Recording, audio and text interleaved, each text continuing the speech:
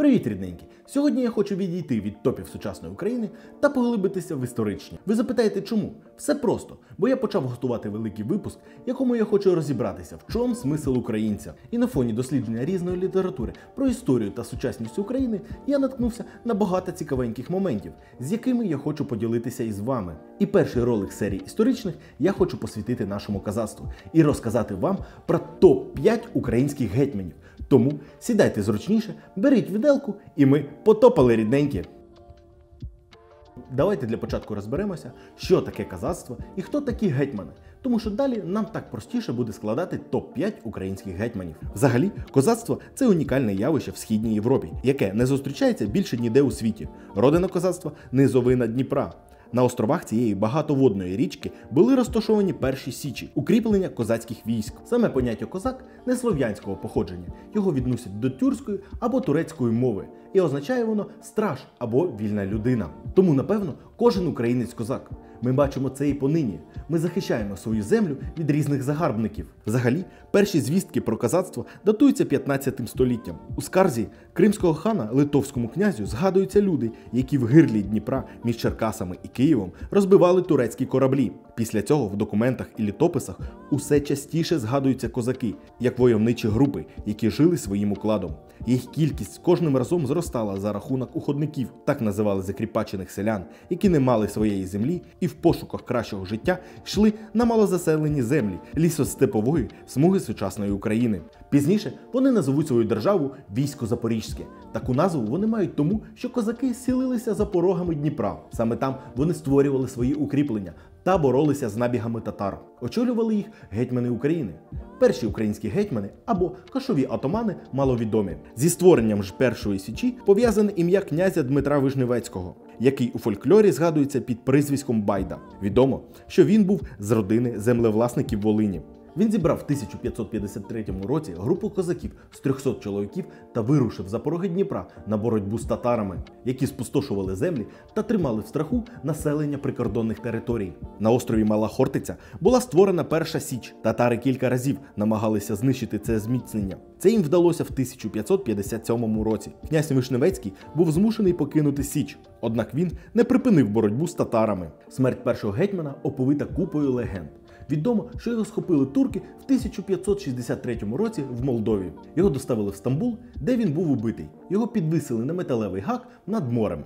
Деякі легенди стверджують, що Байда дуже вразив турецького султана, і той запропонував йому прийняти іслам, взяти в дружину його дочку і стати кращим воїном. Але козак відмовився і образив прилюдно віру султана і всю його сім'ю. За це і був страчений перший гетьман України. Оскільки казацтво збільшувалося за кількістю та володіло особою військовою організацією, воно представляло угрози не тільки для набігів татар, але й для польського королівства. Саме воно володіло українськими землями після підписання з Литовським князівством Люблінської унії в 1569 році. Щоб контролювати цю військову міць, необхідно було підкорювати козаків собі. Таку спробу зробив Жигмунд Август. Він запропонував трьохстам козакам увійти в реєстр і отримувати від короля певну плату за службу. На чолі реєстрових козаків були гетьмани України. Проте така кількість є незначною частиною тих, хто вважав себе запорізьким козаком. Тепер на часі розібратися, як керувалася Січ та які органи влади в неї були. Запорізька Січ мала шість органів керування.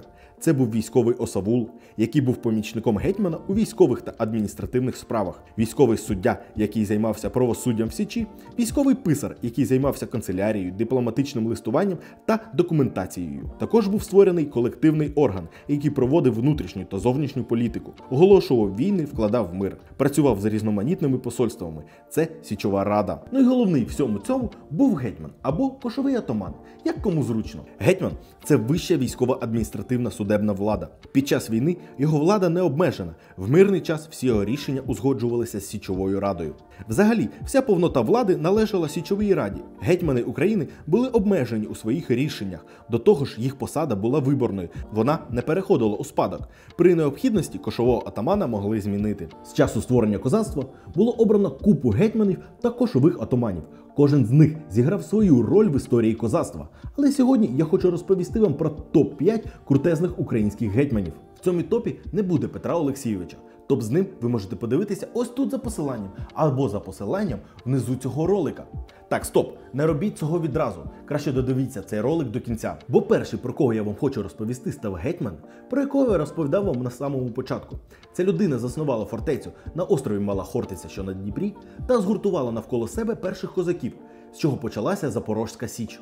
Про його хоробрість і талант воїна складалися легенди. В українській народотворчості ці легенди перетворилися на широко відому думу про козака Байду, що уособлював і козацькі вольності, і войовничий дух, і нечуваний героїзм у боротьбі з ворогом. Вперше ім'я Дмитра Вишневецького згадується в українській історії в 1545 році під час ревізії Кременецького замку. Наступний спогад датовано 1548 роком. Тоді він зробив набіг на землі Очаківського замку, який знаходився під владою Високої порти. Улітку 1553 року Дмитро Вишневецький несподівано залишив малу Хортицю з усім своїм військом, відправившись до Стамбулу, де служив султанові Сулеймену І півроку. Мотиви цього вчинку не ясні, не маючи достатньої підтримки від уряду, намагався справити на нього відповідне враження або прагнув налагодити добрі стосунки з султаном, щоб через нього мати вплив на кримського хана. Інша версія визволення з полону своїх родичів упродовж 1557-58 років Вишневецький відбивав напади кримських татар на чолі з ханом Девлет-Гіреєм на Хортицю. В жовтні 1557 року Вишневецький на чолі загону козаків здобув турецьку фортецю Іслам Кермен і вивіз звідти на Хортицю всі гармати. Хан Девлет-Герей спробував схилити Вишневецького на свій бік, однак той відповів відмовою. У результаті хан зібрав всю орду і зробив спробу захопити Хортецьку фортецю. Облога фортеці тривала 24 дні, після яких татари зазнали великих втрат і змушені були відступити. В особі Дмитра Вишневецького Україна мала видатного козацького лідера, засновника Запорізької січі, полководця, патріота. Таким би пишалася будь-яка країна світу. Не зупиняємося на ньому і відразу переходимо до другого гетьмана в моєму топі Петра Коношевича Сагайдачного, блискучий полководець та політичний діяч, полковник, гетьман реєстрового козацтва, кошовий атаман Запорізької січі, один із засновників козацького флоту. Завдяки гетьману Сагайдачному позиції казацтва на території України змінилися на краще. Військо Запорізьке перетворилося на могутню воєнну силу, на яку мали зважати всі сусідні держави. Ім'я гетьмана Сагайдачного наводило острах на Кримський ханат і на Московське царство. Він організатор успішних походів запорізьких козаків проти Кримського ханства, Османської імперії та Московського царства. Петро Сагайдачний очолював морські походи на швидкісних човнах чайках. Чайки раптово з'являлися біля берегів Криму та стін Стамбула і викликали справжній жах у ворога. Гетьман Сагайдачний був людиною освіченою, навчався в славетній Острозькій академії, центрі тогочасного інтелектуального духовного життя. За сприяння Сагайдачного було відновлено православну ієрархію у Речі Посполитій, підтримував Київське братство та школу при ньому, яка згодом розвинулась у Києво-Могилянську академію. Сагайдачний зробив величезний внесок в зміцнення позицій козаків в Україні, а головне в перетворення війська Запорізького в устрімлення українського народу та в величезну військову силу, з якою мали рахуватися сусіди. Наступний гетьман став лицем п'ятигривнівої купюри в сучасній Україні. Це ми йому так віддячили за все, що він зробив для українського казацтва. Богдан Хмельницький реформатор і фундатор української державності. Саме він вперше надає терміну Україна політичного звучання. Саме за його гетьманства Україна розпочинає відлік як держава про єдину і нероздільну Україну аж до перемишля та кордонів Київської православної митрополії. Неодноразово говорив і попередник Богдана Хмельницького Петро Сагайдачний. Проте саме Богданові вдалося закласти фундамент гетьманщини, а ще зосередитися на тому, щоб звільнити та об'єднати українські території, де проживали етнічні українці. Тім амбітна гетьманська політична програма сформувалася не одразу. За Богдана Хмельницького Україна отримала всі ознаки державності. Вперше Хмельницький створює структури, які працюють суто на українську державу. Це власні збройні сили, митна, фінансова, поштова та судова служби, внутрішня та зовнішня торгівля. Гроші вже зосереджувалися в державній скарбниці, але не в королівській. А отже, йшли на розвиток молодої держави. Це промовистий показник повноцінного функціонування козацької держави. За часів Богдана Хмельницького Україна здобула не тільки внутріполітичне визнання, а й закріпилася на міжнародній арені. Дипломатію України визнавало багато країн світу. Переходимо до наступного гетьмана, який за свої справи залетів аж на 10-гривневу сучасну українську купюру. Це гетьман Іван Мазепа. І що ж він для цього зробив? Гетьман Іван Мазепа намагався зробити з Україною європейську державу, підняти і зміцнити значення і престиж гетьманської влади, яка за десятирічні руїни зазнала страшної девальвації. Жодний із гетьманів не зробив так багато, як Мазепа для розвитку культури та духовності українського народу. Спроба цього гетьмана вирвати Україну з під московського ярма, реалізувати велику ідею незалежної самостійної української держави зазнала поразки. З самого початку свого гетьманування Іван Мазепа виявив себе як великий покровитель і меценат національної культури, мистецтва, науки православної церкви. Всякими способами Мазепа допомагав, сприяв розвитку освіти в Україні у Києві, Чернігові, Переяславі та інших містах і навіть селах фундував школи, бурси, шпиталі, наділяв маєтностями українські монастирі, які на той час були вогнищами просвіти завдяки власним школам і друкарням. Мазепа взяв під свою опіку Києво-Могилянську академію, дбав про її розвиток, щедро обдарував її маєтностями. Гетьман щедро фінансував розвиток мистецтва, зокрема архітектури і малярства, прикрасив українські міста спорудженими та реставрованими чудовими храмами, розбудував Україні на свій кошт, а також використовуючи військовий скарб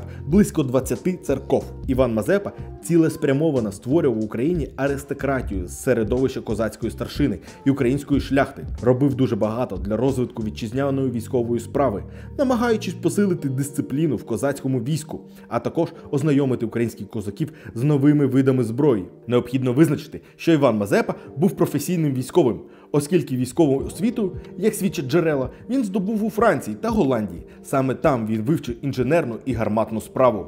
Іван Мазепа бачив Україну об'єднаною могутньою державою, яка б змогла б противостояти будь-якому ворогу. Ну і на завершення я хочу розказати вам про останнього гетьмана України Кирила Розумовського. У 1747 році імператриця Єлізавета І відновила гетьманство в Україні. Цьому сприяли міжнародні обставини та прохання козацької старшини. У 1950 році на козацькій раді у Глухові Кирила Розумовського обрали гетьманом лівобережної України. Кандидатуру гетьмана визначила імператриця, а на Глухівській раді відбулося втілення сценарію обрання. Кирило Розумовський не поспішав відмовлятися від столичного життя. Лише за наказом імператриці у липні 1751 року новообраний гетьман з величезною свитою прибув до Глухова, де йому влаштували помпезну зустріч. Кирило Розумовський почав докладати зусиль до розбудови автономної гетьманщини. Без погодження з Петербургом він призначив полковників, сприяв забороні поширювати на українців холопство, роздавав у володіння козацькій старшині сотенні містечка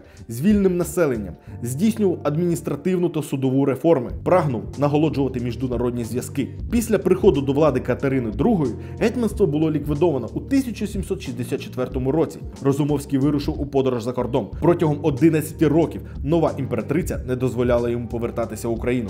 В 1794 році він остаточно переїхав до Батурина. На ньому і закінчується велика історія українського гетьманства, але не закінчується історія української держави. Попереду нас ще чекає багато викликів та випробувань. Боротьба з внутрішніми та зовнішніми ворогами, але все це в наступних історичних випусках, які мають привести нас до розуміння, в чому ж смисл українця. Друзі, це був топ-5 українських гетьманів. Ми, як завжди, чекаємо на вашу думку в коментарях. Не забудьте підписатися на канал та поставити лайк цьому відео. З вами був Нікіта, а ми потопали відпочивати.